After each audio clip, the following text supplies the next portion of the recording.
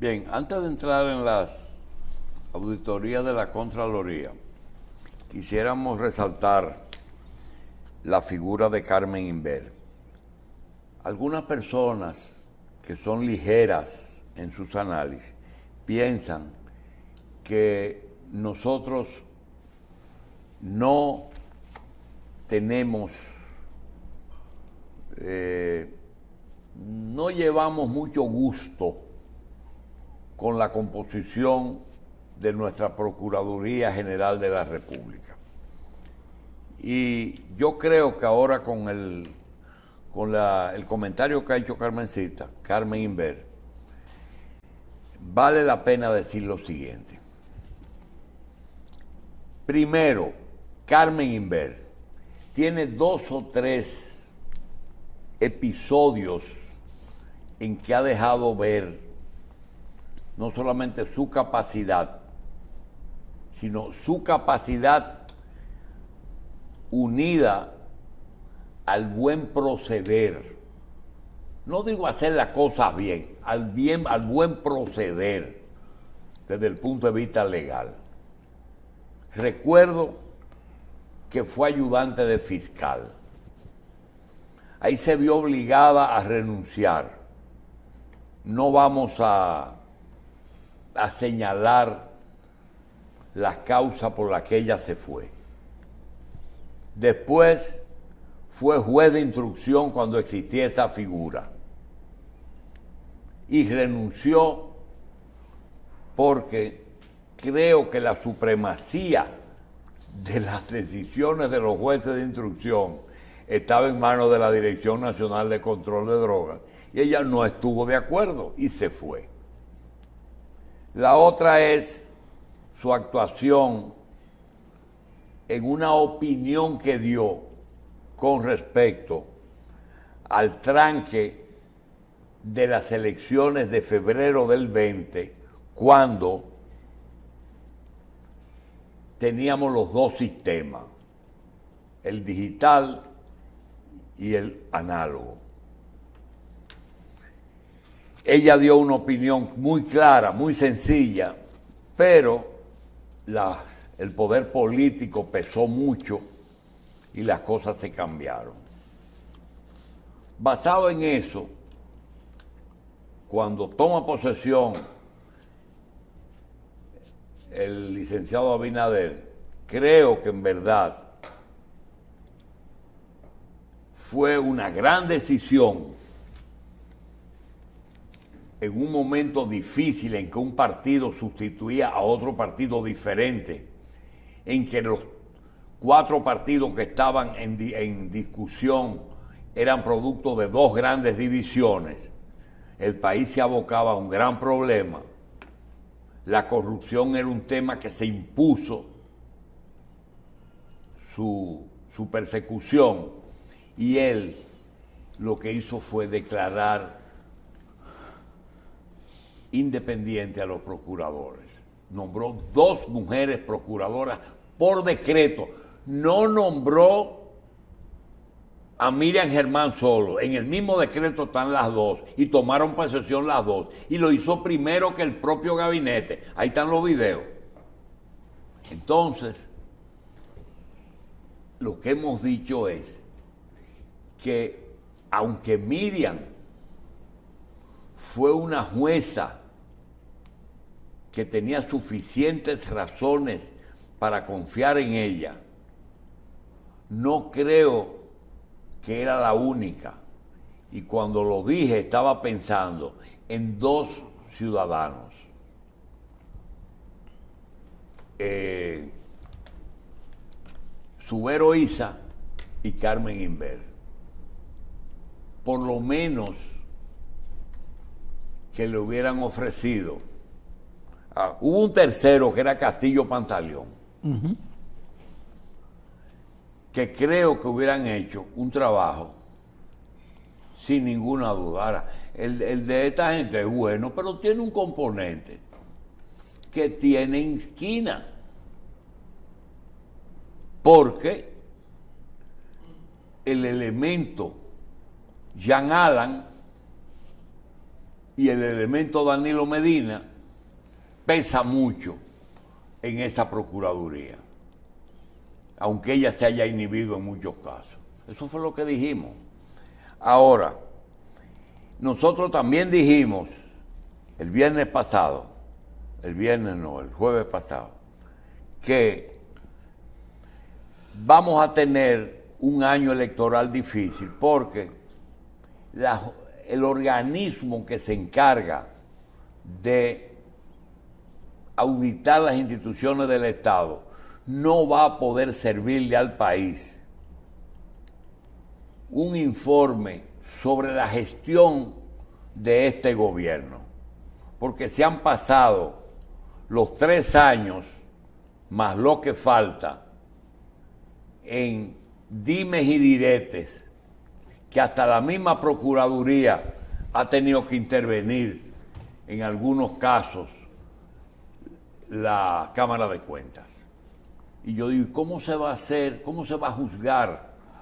Pero el gobierno fue inteligente, hizo sus propias auditorías, pero con un elemento que fue la Contraloría. Y la Contraloría es dependiente del Poder Ejecutivo. Aún así, fue bastante imparcial y no descargó a todos de culpa, sino que también señala algunas indelicadezas. No sabemos si son acciones delictivas, abandonos o algo que Terrero nos enseñó que llama ceguera voluntaria.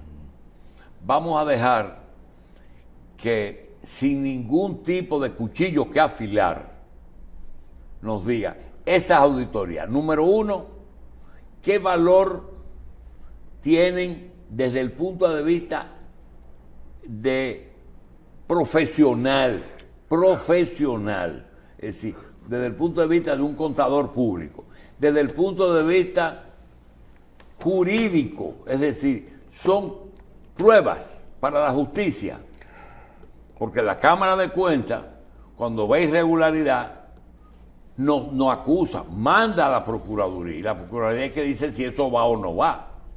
Y tercero, desde el punto de vista político. Licenciado, ¿cuántas se hicieron, dice la prensa? 19. ¿Cuántas ellos dicen que puede haber? 19 en esta etapa, porque ya ellos habían... habían de 14, exacto, de 14 más o menos. Pero primero, doctor, debo solidarizarme con su comentario sobre la magistrada Carmen Inver Brugar. De verdad que eh, el país se perdió una gran oportunidad de que ella pudiese ser reelecta en ese momento en que hubo el cambio de la Junta Central Electoral y que ella optó, ¿eh? Ella optó para seguir en el cargo. Ella es un referente nacional, pero lamentablemente ese tipo de profesionales no le sirve a los estados. No, a los políticos no. No le sirve, lamentablemente.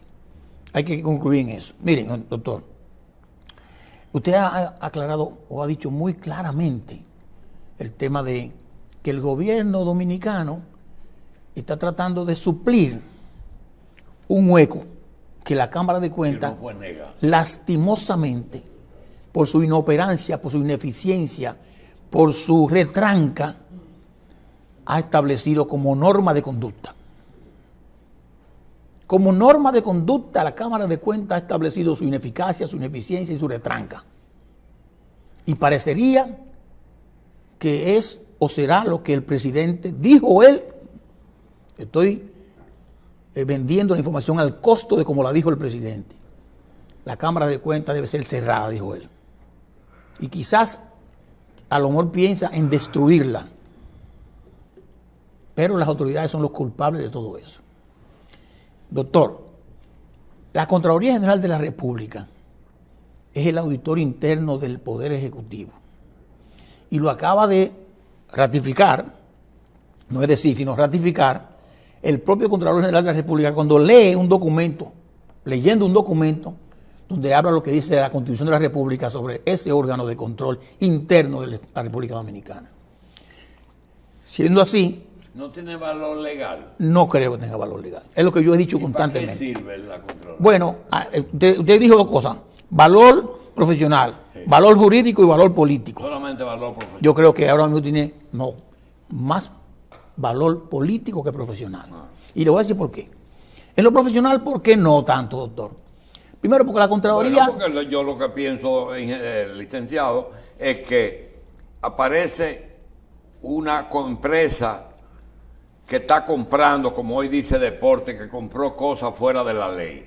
Entonces esa Contraloría le dice al presidente, mire señor presidente, su Ministerio de Deporte está cometiendo este fallo. Entonces ya ahí está dos cosas, la contabilidad que hicieron y la decisión política. Correcto. Pero no la justicia. Pero usted tiene que cuantificar el, el error. Si es una infracción penal, si es administrativo si es civil. ¿Y quién es que, califica eso? Bueno, lo califica el Ministerio Público cuando le llega de mano de la Contraloría General. ¿Y la Contraloría puede someter? No, el presidente puede someter, ah, que es el jefe de la Contraloría. Pero lo que la, el Ministerio Público espera es que el órgano de control superior de fiscalización, que es la Cámara de Cuentas, establecido por la Constitución de la República y por los organismos internacionales, le mande a decir al Ministerio Público si encontró indicios de responsabilidades penales en una investigación vía una auditoría en un determinado, eh, una determinada institución. Y yo lo que veo es que esos, esas auditorías que han publicado tienen eh, informaciones administrativas. O sea, mire, desviamos esto, cogimos. Ahora, no, en ningún momento dice, este señor se llevó tantos millones de pesos. Este señor hubo una transacción en la cual no está claramente identificado que hay un, un dolo no lo hay. Entonces quizás estrategia política diría, bueno, el gobierno quiere ser transparente y yo no creo, no, no, no, no creo pensar que no lo sea. No, no, yo creo que el gobierno quiere ser transparente. Y lo ha dicho el presidente y Emilio Ortiz Bosch y sus contralores. Van tres contralores ya. Quieren ser transparente, pero a veces hay como uno comete exceso de transparencia. Porque decirle al país que estas auditorías de mucha gente que ya no está ni siquiera ahí, ya no están ahí, están en su casa o en otro sitio o fuera del país o nombrados en otro sitio, que mire, e-, este señor violó el presupuesto por tanto, no se lo llevó, violó el presupuesto, transfirió de un lado a otro, que no está bien, que hizo un concurso que no fue bien, que, pero ya este tipo, esto pasó, pero avanzamos en algo, doctor. Yo había dicho desde el primer momento en que el gobierno comenzó, técnicamente hablando, que no se confundan, que la Contraloría de la República no tenía facultad para emitir un dictamen de auditoría sobre esos informes que estaba haciendo. Y he martillado eso y se lo mandé a decir al presidente de la República. escrito, ¿eh? no hay calidad para eso. Pero muchísima gente me cuestionaron, ah, pero mucha gente sí apoyó técnicamente lo que yo estoy diciendo. El dictamen, no, el informe que publica la Contraloría hoy reconoce esa falta. Y ya no hace un dictamen de auditoría hace un informe donde el Contralor dice, nosotros somos el órgano de control interno, el Ejecutivo, y en base a eso revisamos tal cosa. Y no dictamina nada, lo correcto. Pero dice un tema, doctor. Oiga esto, doctor. Este informe es únicamente para su información. ¿Para quién? A quien se la manda, ¿verdad? Al director del SEA, lo que sea en conexión con la responsabilidad del Consejo Estatal de Azúcar sea y no deberá ser utilizado para otro propósito, o sea, es para su información y no lo use para ningún otro propósito. Propósito político no. Dice, eh, la distribución a otras partes, dice el informe, sin preautorización escrita de la Contraloría de la República, está limitada a la presidencia de la República. O sea, el texto no debería ni estar ahí. Porque el, presidente de la República tiene facultad siempre, porque él es el jefe de la Contraloría. Pero lo está diciendo, no la usen ustedes, pero la están publicando. O sea, no es para ningún otro propósito, pero la están publicando. Y evidentemente dice, la base técnica utilizada para la grabación de esta, auditoría se apoya en mejores prácticas sobre auditoría interna, o interna, no está, no dictaminando, promulgada por el IIA Global, que es el Instituto de Auditoría Interno de Estados Unidos a nivel global específicamente el marco internacional para práctica profesional de auditoría y las normas internacionales de auditoría emitidas por la INTOSAI, que es un nombre en inglés, que es la organización internacional que agrupa las sociedades eh, de fiscalización superior en todo el mundo, Intosai, de la cual no es miembro la Contraloría de la República. Que la que es miembro es la Cámara de Cuentas, que es el organismo que es real y efectivamente constituido como órgano superior de fiscalización. Pero avanzamos, ¿eh? Ahora, ¿el objetivo cuál es? Bueno decirlo, presidente, está bien, hay un hoyo, un vacío, un vacío que el Congreso es responsable. Vuelvo y lo digo, el Congreso es responsable y de manera particular el Senado de la República es responsable. Vayan a verificar lo que está pasando ahí en la Cámara de Cuentas, señores. Hablen con el presidente de la Cámara de Cuentas. Pregúntele qué él quiere hacer. Pregúntele a él y a su socio, que es el señor Mario Fernández, que son los que andan juntos para ir para abajo, qué quieren hacer. Convoquen el Pleno, porque si no lo convocan, entonces no puede haber... Cuando yo era presidente, doctor, yo tenía siete personas en contra de mí. De nueve. Pero yo siempre convocaba el Pleno. Porque yo soy institucionalista, doctor. Siete versus dos. ¿Qué nos dijo nosotros un amigo de la Iglesia Católica, doctor? Oh. A usted y a mí, ¿qué nos dijo? No podemos hacer nada. Son siete malos contra dos buenos. ¿No fue así que le dijo? Sí. Y eso está bien. De mi iglesia, donde yo fui monaguillo y toda esa cosa. La mía, yo soy católico. Es un abuso. Entonces, el Pleno tiene que ser convocado. Y lo que hay que hacer es acatar lo que diga la mayoría del Pleno. Pero para poder entender eso, le doy a mi mente y pienso en la Contraloría. Correcto. ¿Qué diferencia hubo entre la gestión de Víctor Grimaldi, de la LANE, Víctor con Balaguer, la LANE con Hipólito, y Simón y con los dos gobiernos del PLD y con Cortiña? ¿Qué marcó esas administraciones? Una cosa fundamental. ¿Qué cosa? No había una ley 1004. ¿No había? No había una ley 1004. La ley de la Cámara de Cuentas de la República. ¿Es posterior a todo eso. A todo eso.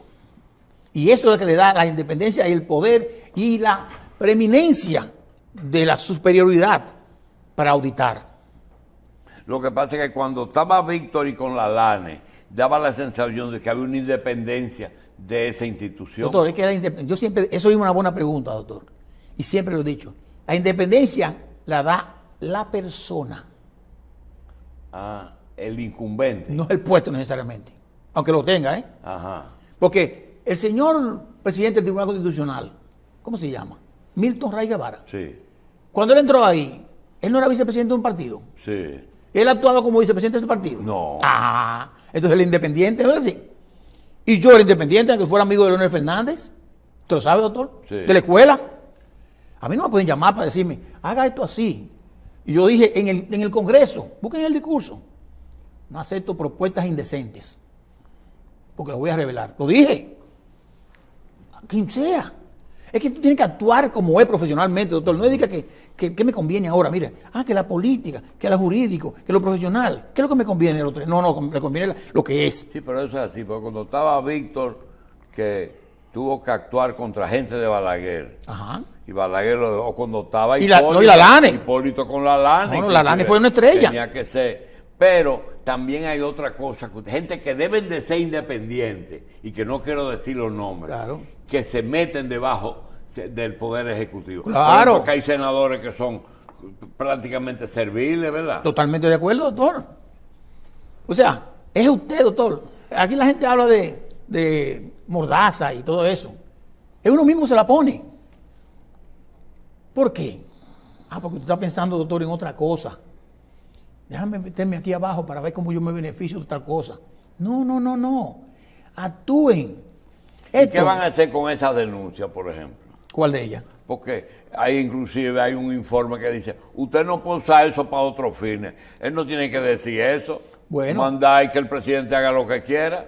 Ya, y lo hizo. ¿Para qué dice? Doctor, en el momento. Lo usted puede, a conocer. Usted puede claro, doctor, que en su momento el presidente supo esa información y actuó. Porque muchos de esos incumbentes que están ahí fueron movidos a otro sitio o quitados del puesto. Y era como elemental. Ah, el presidente emitió un decreto, porque el presidente no tiene que decir por qué. Emitió un decreto y cambió al contralor tal cosa, o cambió a tal sitio. Sí, pero lo que la gente está preguntando. Sí. En el. Eh, minimizar la auditoría. Dice, si es una auditoría que se le hace el gobierno de eh, Luis Abinader al gobierno de, de, de Danilo Medina. De Danilo es una barbaridad y una corrupción. Si es una auditoría que hace la Contraloría a el gobierno de, la misma Contraloría, es decir, del gobierno, es una indelicadeza. Eso es lo que, minimizar la falta. Pero nunca, la falta está ahí y la falta tiene un valor. Nunca se puede minimizar ninguna de las dos. Son válidas, pero esta es para el control interno. Para revisar si los procedimientos de control interno se están aplicando adecuadamente, como dicen las normas, las normas básicas de control interno, no va así. Pero eso no es malo. Y que lo hagan a, una, a un ejercicio anterior tampoco es malo. Inclusive la Cámara de Cuentas, doctor, que tiene facultad para auditar a todos, a todos y a todos, que haga algo que tenga un fin político, uno lo puede percibir. pero, yo que calculé, percibir. yo calculé, eso soy yo solo, que digo, ¿cómo deben hacer las cosas? Las cosas deben de ser que al finalizar una gestión, sea porque es una gestión con el gobierno, una gestión de un de un funcionario, esa gestión se audite. Claro. Entonces, ya tú tienes. Viene un gobierno nuevo, los otros entregan. ¿Qué es lo normal? O que un tiempecito antes de iniciar el gobierno nuevo, o después que inicie, la Cámara de Cuentas coja todos los ministerios y las oficinas del Estado y las audite. Pero cuando calculé, me dice, ni hay presupuesto, ni hay personal. Y cuando se va, lo mismo. Sí. Porque se puede ir a mitad de, de periodo. Pregunta, Terrero. ¿Puede existir la remota posibilidad de que una Cámara de Cuentas vaya a auditar una oficina del Estado y el, incumbe, el incumbente le diga, mire, esta oficina la acaba de auditar la Contraloría. Y le dice, déjeme verla, mire y la Cámara de Cuentas se lleve esa auditoría, haga unos sondeos y descubra que fue una auditoría la puede validar. No. Mire, doctor, Nunca la puede Mire, doctor, son dos cosas, doctor. La propia ley 1004, que instruye el Sistema Nacional de Control y Auditoría, y la misma ley de la Contraloría de la República, la ley 07, establecen claramente que los trabajos que haga la Contraloría de la República deben ser remitidos a la, Cámara de Cuentas. Deben ser remitidos a la Cámara de Cuentas. Miren, señores, yo he hecho esta revisión de control interno y he encontrado estas fallas de, auditoría interna. Ténganla para que ustedes hagan su trabajo, la tomen en cuenta. La, la Cámara de Cuentas, doctor, la Cámara de Cuentas tiene la facultad de ir donde quiera. Y si el incumbente dice que no, o se la pone difícil, Está establecido claramente en el artículo 56 de la Cámara de Cuentas, la ley 1004, eso se llama desacato. Y hay que eh, acusarlo de desacato a ese funcionario, que no puede negarse. Ahora bien, si la, la Contraloría de la República va, por ejemplo, a la Junta Central Electoral, o va al Congreso Nacional, o va al Tribunal Constitucional, sí le van a decir, no, usted no tiene facultad aquí, váyase de aquí. Usted es el auditor del, auditor interno del, Estado, del, Poder Ejecutivo. Váyase de aquí. Y se tiene que ir. Como pasó una vez entre Roberto Rosario y el Contralor de la República, Rafael Hermosén. Pero no podemos nunca quitarle mérito a las auditorías que hagan las instituciones. Ahora, el valor jurídico para eso es lo primordial. Y hay que decir una cosa, doctor. Te dijo, ah, cuando yo hice mi cálculo, eh, la, la, Cámara de Cuentas no tiene recursos. En abono al presidente de la República, debo decir que los presupuestos del 2021, 2022 y el 23, el presidente asignó recursos. No lo suficiente, porque la ley dice más, pero sí mucho más significativamente que los anteriores. Y por eso hoy la Cámara de Cuentas de la República tiene en sus arcas más de 1.600 millones de pesos aguantado ahí de esos dos ejercicios anteriores, que eran para qué? Para invertirlo en recursos humanos, en recursos tecnológicos, en capacidades, en comunicación, en capacitación a esos auditores. Nombrar auditores con calidad y pagarle.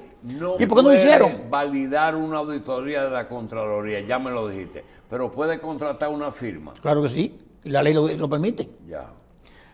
Eh, otra cosa, eh, al principio que hablabas de lo que es el, ¿cómo, cómo dice? El dictamen. Sí.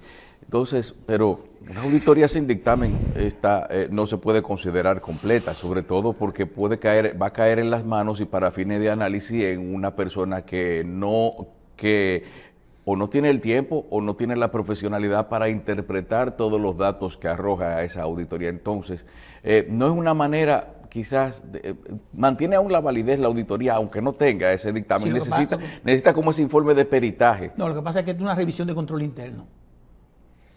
Es lo que hace la, la, Contraloría de la República. Y ahí van las recomendaciones. Y van las recomendaciones. Claro. Es un informe. Mire, está pasando esto, esto y esto y esto y esto y esto, y entendemos que debemos corregir esto y aquello otro. Pero lo que tiene valor jurídico es la Cámara de Cuentas de la República. Y es un, un craso error que dejen esa institución a la deriva, en un mar que se vaya lejos y que pase lo que pase o que entre el mal. No, no, no, no, no. Hay que ser responsable. El presidente de la República no tiene facultad para hacer nada. aparece en Diario Libre hoy. ¿Cuál es la noticia? Que hicieron 19 auditorías. Y que de esas 19 auditorías encontraron eh, algunas anomalías. Anomalías de control interno. Eh, pregunta, ¿esa publicación habla bien o habla mal del gobierno? Yo diría que, yo diría que ni habla bien ni habla mal, porque eso no, es para publicarlas esas auditorías. Pero, el presidente decidió publicarla.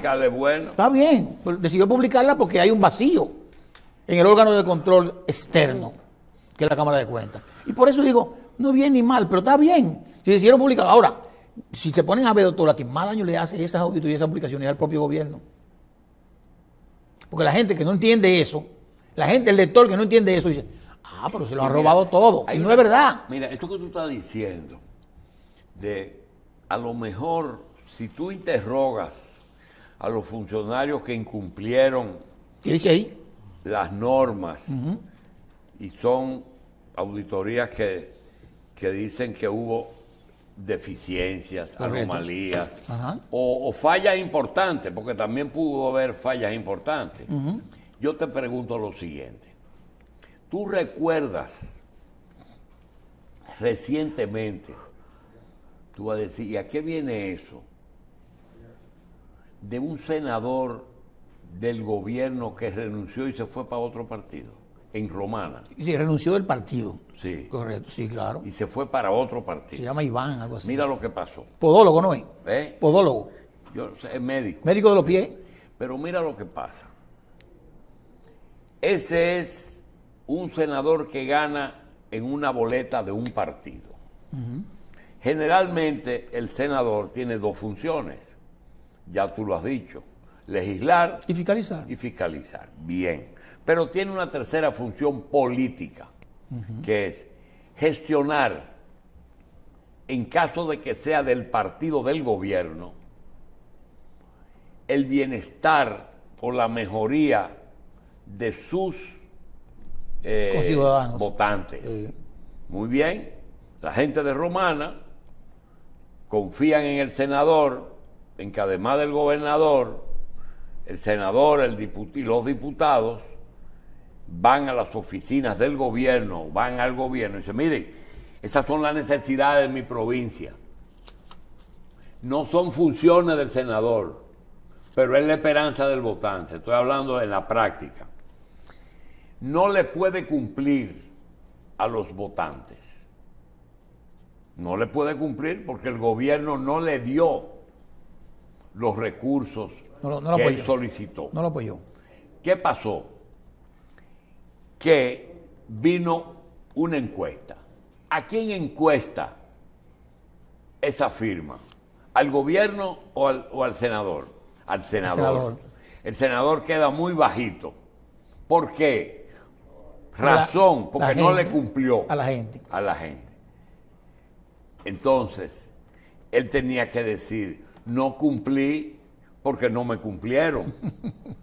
¿qué hizo? Se fue. Entonces, con respecto a las auditorías, cuando tú dices, ¿se deben o no se deben publicar? y si esa gente dice, las anomalías se deben porque no me cumplieron. No, no, no, no, otra cosa, doctor. Los incumbentes están diciendo, yo mandé mis réplicas ah. y dije que eso no era así. O dije que eso fue así por tal cosa. Y quizás no se tomaron en cuenta las réplicas. Mire, por ejemplo, un caso, doctor. Conani no depositó en la TCS donación de UNICEF y China.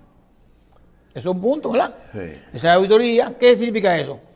En la tesorería, de, nacional, no en la TCS, en la tesorería nacional, que es la cuenta única del tesoro, ellos recibieron 500 mil pesos, dice por aquí. Y no le depositaron la cuenta única del tesoro. ¿Es una debilidad del control interno? ¿Se lo cogieron los cuartos? No. No se lo cogieron. No, no. Lo usaron directamente. Lo usaron directamente y pasaron por ahí. Pero es una debilidad de control interno. Pero eso, el que no entiende eso y lo lee, dice, ah, pues esta señora se llama Paula La Costa, se llevó 550 mil pesos. Entonces ese es el riesgo que hay, doctor. ¿Son más los que entienden o menos los que entienden, doctor? Son más los que no entienden. Entonces hay que tener cuidado. Por ejemplo, el MAP, Darío Castillo Lugo, doctor, el ministro de la Administración Pública, el que maneja los recursos humanos de todo el Estado están aplicando aquí una desviación de control interno en recursos humanos. Y yo estoy seguro que él dijo, no, yo, yo mandé mi réplica, ¿eh? y eso no fue así, y mira a ver lo que hay aquí. O que haya... Administro de, de... Administración Pública, míralo ahí, el MAP. O sea, y usted, usted así ve, doctor, a muchos incumbentes que le están diciendo, pero esto, mire lo que encontramos aquí. Lo discutieron adecuadamente. Recibieron las réplicas ¿Qué hicieron con la réplica? Porque cuando la réplica llega, doctor, el auditor tiene que hacer dos cosas. Primero va a el valor de la réplica. Segundo, si eso realmente justifica lo que nosotros estamos poniendo como una debilidad. Y tercero, decidir si lo mantengo o lo quito. El punto. Eso es lo que hacen los auditores. Estoy satisfecho con su réplica. Quítame el punto. No va. Ahora no. Aquí hay un paquete de cosas. Yo no estoy hablando porque yo no siquiera he leído en detalle las auditorías. No, es más, no quiero leerlas. Pero es lo que dice, es lo que dice el periódico. El periódico publica lo que le manden. Mira, aquí publica esto. Y el periódico toma lo que entiende que es noticia. Que no siempre es lo que, lo que uno quiere que se lea. Y no, y no es criticando el periódico. ¿eh? El periódico tiene que hacer eso. Ah, pero mira, aquí hay esto, vamos a poner esto. Y eso, doctor, desacredita también funcionarios. Y la Cámara de Cuentas le toca también a los municipios. A todos. A los municipios. A todos. Entonces no hay posibilidad de auditar a todo el mundo. No, nunca ha habido posibilidad de auditar a todo el mundo. En el plan estratégico que nosotros hicimos, doctor, de cuatro años, nosotros decíamos que íbamos a auditar el Estado en cuatro años, al Estado en cuatro años. Pero nos íbamos a enfocar en las entidades que tenían el mayor peso del presupuesto que nacional. más dinero. Claro, claro que sí. Ahora, el presupuesto que recibe el Ayuntamiento de Villa Altagracia, que reciba, por ejemplo, vamos a ver, 12 millones de pesos o 20 millones de pesos, es mucho para eso. de aquella cosa se habló de, auditar la refinería. ¿Por qué? Ah, no, hay algún problema. de Venezuela. No, no, no, no. Cuando se auditó eso, doctor, que fui yo que lo audité, eso estaba en manos de los holandeses. Y nosotros, y, que busquen ese informe que ustedes vean, doctor. Era de la Shell. Sí, la Shell. Que busquen ese informe que ustedes vean nosotros sometimos funcionarios de la Shell. Digo nosotros. ¿Por qué? Porque ahí había acciones del gobierno. Claro, el gobierno siempre era mitad el dueño de la mitad, pero el control lo tenía la Shell. Y había muchísimas cosas ahí con unos holandeses que nosotros entendimos que lo busquen, porque es público. No tengo por qué decirlo, que lo busquen. O sea, ese era el nivel de auditoría que nosotros hacíamos, doctor. Oye, nosotros no teníamos, no teníamos miramiento para hacer una cosa o la otra. Pero, Terrero, eh, Cualquier institución que recibe fondos estatales puede ser auditada entonces, incluyendo las ONGs. Pública y privada, claro. No que incluyendo las ONG, las ONG están incluidas en el presupuesto de, la auditoría que hace la Cámara de Cuentas. ¿Cuáles son las ONG, por ejemplo? La, Cruz Roja Dominicana es una ONG. La, rehabilitación es una ONG. Participación Ciudadana es una ONG si recibiera fondos. si recibiera fondos estatales. No lo recibe cualquier entidad que reciba fondos del Estado o tenga una conexión contractual con el Estado está bajo la lupa de la Cámara de Cuentas de la República Dominicana, conforme a su ley.